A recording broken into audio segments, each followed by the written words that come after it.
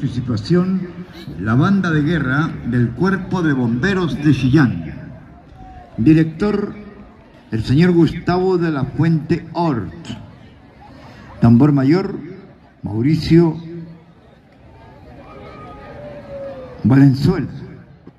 Brigadier de caja, Mauricio Tapia parece que dijeron. Brigadier de Pífano, Aileen Lascanini.